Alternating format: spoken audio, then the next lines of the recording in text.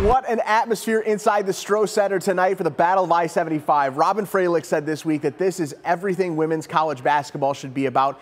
And the game tonight lived up to the hype. Toledo and Bowling Green, first place on the line in the MAC. Both teams having a great season so far, and what a game it was. First quarter and a great start for Allison Day of the Falcons. She works her way inside the paint, spinning, fading away here. The transfer from Loyola Chicago, making her presence known early, knocks it down for two. Later in the half, Rockets out in transition. Justina King leaving for Nan Garcia. She would let it go from behind the arc. She knocks it down. She was great in this one, finished with 15 points in the game. And then later, Quinesha Lockett, a strong drive here to the basket, weaving her way through the Falcon defenders. She had a team high 27. It was back and forth first half between these two. And then the Falcon defense began to do what they've done all season. Jocelyn Tate with the steal on the other end, heading the other way, gives it up and gives it right back. She had 13 points. BG was up three at the break. And in the second half, the Falcons would begin to put the pressure on. Tate to Fleming. Lexi Fleming from the wing lets it fly, buries a three, BG's up 10. She had 11 off the bench. But the story of the game was Allison Day going to work in the post. Gets the basket here, plus the foul. Finishes with a career high 31 points for the Falcons. BG wins.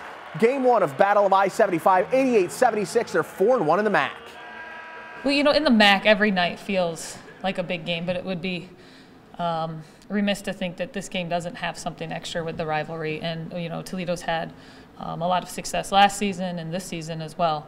Um, so when you can get a win against, a, you know, a, a, signature win, I think it means a lot. Uh, but I also know we've got a game Saturday, and if you spend one second resting on what happened Wednesday, the MAC, MAC's tough. So um, it was a big win for us, um, but we've got a lot of games left to play. It was really cool. Um, I think the team, my teammates did a great job like preparing me for what that feels like, the rivalry, what the show is going to feel like, and um, the is great every every game, but especially with Toledo here, um, it was just really cool to be a part of. And um, we talked before the game, just have fun and be us, and that was really fun game to play.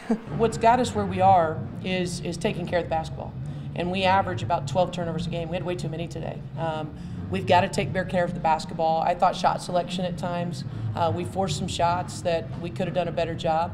Um, and defensively, we've got to deny the ball a little bit better inside. I mean, there's there's some key moments that, that if we'd have done those things and stayed disciplined defensively, not jumped out of our shoes on fakes, maybe it's a different outcome. But we didn't, and they took advantage of it.